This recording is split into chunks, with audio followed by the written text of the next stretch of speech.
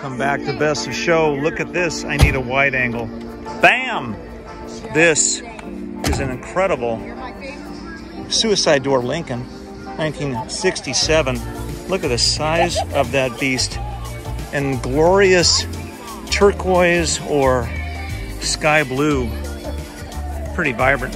I used to roll Hot Wheels down this this liner here as a kid. Pretty fun stuff, see? Right down through there. Amazing car. That's a Conti, all original.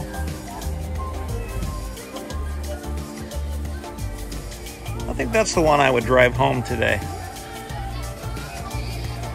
I'll take it.